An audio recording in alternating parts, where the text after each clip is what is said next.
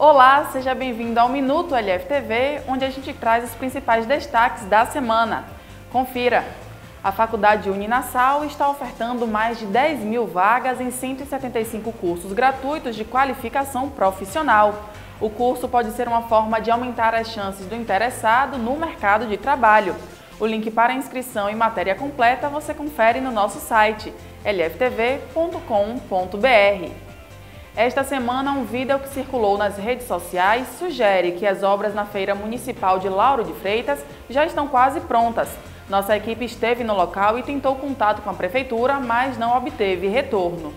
Em homenagem ao Dia do Homem, comemorado na última segunda-feira, uma clínica de Lauro de Freitas abriu 100 vagas para atendimento gratuito de homens com esgotamento físico e mental relacionado ao ambiente de trabalho. As vagas devem ser preenchidas até hoje. E a dica LFTV para o seu fim de semana é conhecer a fábrica e cervejaria Proa. A empresa que fica aqui em Lauro de Freitas tem se destacado no mercado de cervejas artesanais baianas. Vale a pena visitar. O Minuto LFTV fica por aqui, mas não deixe de acessar o nosso portal e redes sociais para se manter informado. Para enviar uma sugestão de pauta, basta entrar em contato com a nossa equipe pelo número de WhatsApp 99230 1642. Até a próxima. Tchau, tchau.